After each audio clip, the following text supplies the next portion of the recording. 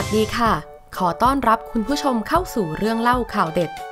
ถูกด่าหนักมาก ปารินาปะทะเดือด เสียโรงงาน ถอยไปปากเหม็น รอบหน้าไม่ต้องมาเลือก เพจ Facebook ชมรมช่วยเหลือเหยื่ออาชญากรรม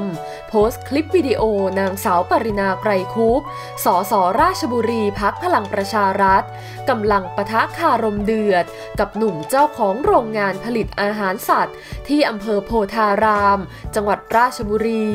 ซึ่งอยู่ระหว่างการก่อสร้างสถานที่ โดยในคลิปนางสาวปรินาพูดกับหัวหน้างานว่า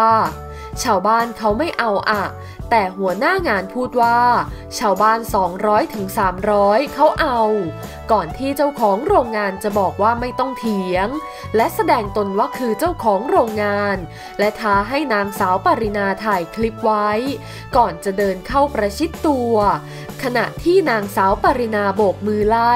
พร้อมกับพูดว่า ปากเหม็นปากเหม็นถอยไป ก่อนที่หัวหน้างาน จะพูดว่าเหม็นมากกว่าซะด้วยมั้ง จากที่ติดตามข่าวติดตามโซเชียลอะพร้อมบอกว่าตนเป็นคนราชบุรี และผมก็เลือกนายทวีไกรคุปคุณพ่อของนางสาวปรินา ซึ่งนางสาวปรินาก็ตอบโต้ว่า สมัยหน้าไม่ต้องเลือก ส่วนระหว่างที่ได้โต้เถียงกับนางสาวปรินา ยกมือถ่ายคลิปแต่เพียงหัวหน้าคนงานทำเอาเจ้าของโรงงานถึงกับบ่นลูกน้องว่า ตนเองดูไม่เหมือนเจ้าของโรงงานหรือ พร้อมระบุว่า ผมไม่มีเป็นพันล้านหรอก แต่ก็มีเป็นร้อยล้าน พอจะอวดคนอื่นได้เหมือนกัน ไม่ได้ร่ำรวยหรอกครับ แต่ผมสร้างได้ ผมไม่ได้ไปโกงใครมา ทำมาจากมือล้วนๆ ไม่ได้โกงใครมา ไม่ได้ไปรุกไม่ได้ไปอะไร ที่นี่ผมซื้อ โอน มีโฉนด ผมว่ากันตามกฎหมาย แล้วไปคุยกัน เมื่อนางสาวปรินาถามว่าทำความเดือดร้อนให้ชาวบ้าน ไม่สนใจหรือว่าชาวบ้านจะสาบแช่ง เจ้าของโรงงานก็ตอบว่า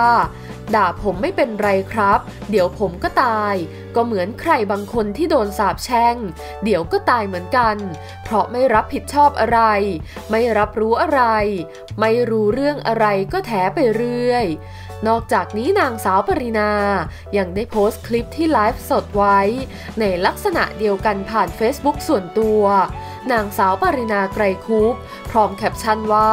Hashtag ปารีณาถูกด่าหนักมาก ไม่ถอย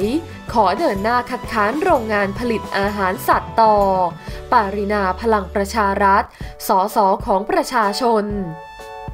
ขอขอบคุณข้อมูลดีๆ จากสยามรัฐ อย่าลืมกดติดตามพร้อมทั้งกดรูปกระดิ่ง เพื่อแจ้งเตือนเรื่องใหม่ๆ จะได้ไม่พลาดรายการเรื่องเล่าข่าวเด็ด ขอบคุณที่รับชม แล้วเจอกันใหม่ค่ะ